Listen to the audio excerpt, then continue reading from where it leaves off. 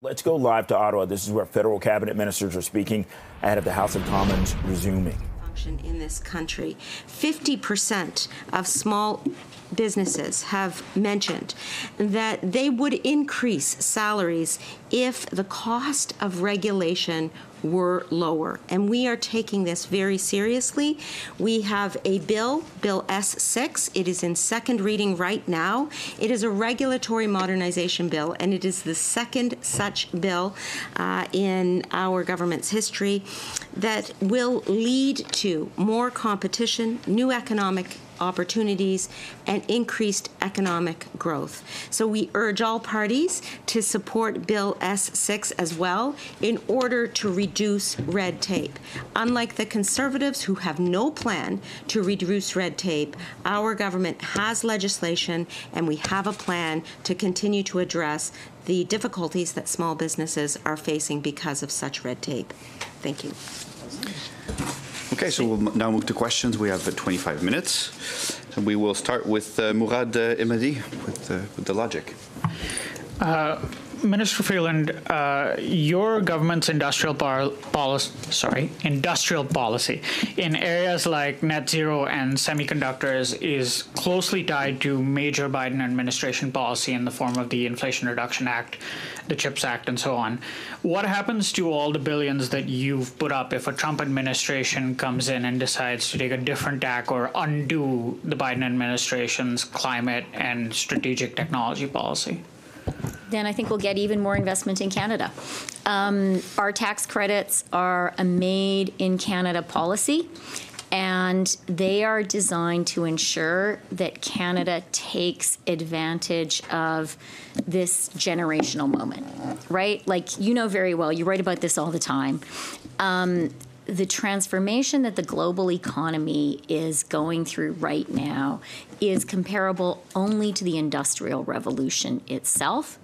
We believe it is absolutely essential that Canada gets its share of the global pie.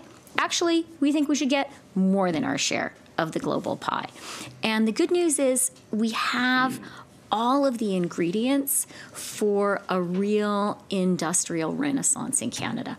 We have the critical minerals and metals that the new industry of the world needs.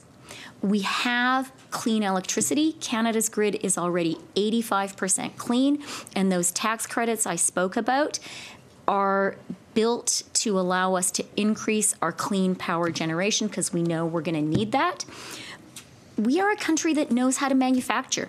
You know, there are other countries that let go of their industrial base. Canada has never done that. Having industry in Canada is serving us in very good stead. As Francois Philippe uh, just said, and Sean talking about our great universities, we have the most educated people in the OECD.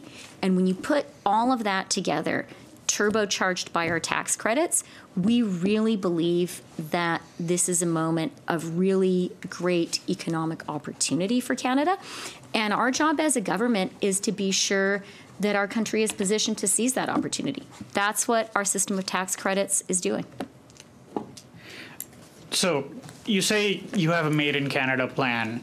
Your EV uh, credits are tied specifically to the IRA. Those are not tax credits your EV incentives, but still under the Made in Canada plan. Your CCUS credits are were adjusted the only, according the, to 45Q. These things are no. The only I mean, look, Murad, I'm not. I'm, I'm not kind of um, trying uh, to be disputatious. For sure, it's the case that we recognize there's competition in the global economy.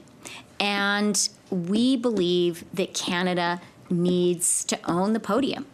And that is why we have put together a plan which is really doing that.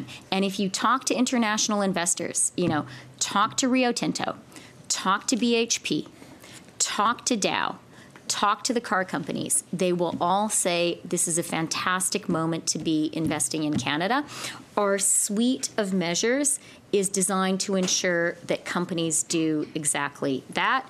It is built on the foundation of the ITCs. It also includes the Canada Growth Fund and the investments it's making, such as the contract for difference that it concluded in December. So we are really going full steam ahead.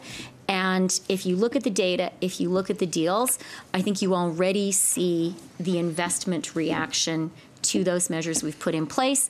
And I would be remiss if I didn't say the final piece in that puzzle is our trade deals. Canada is the only G7 country that has a trade deal with every single other G7 country, and we are already benefiting from the focus on resilience in the wake of COVID, in the wake of the Russian invasion of Ukraine, which you are seeing the world's companies and the world's big economies put in place. Canada's reliable, people know it.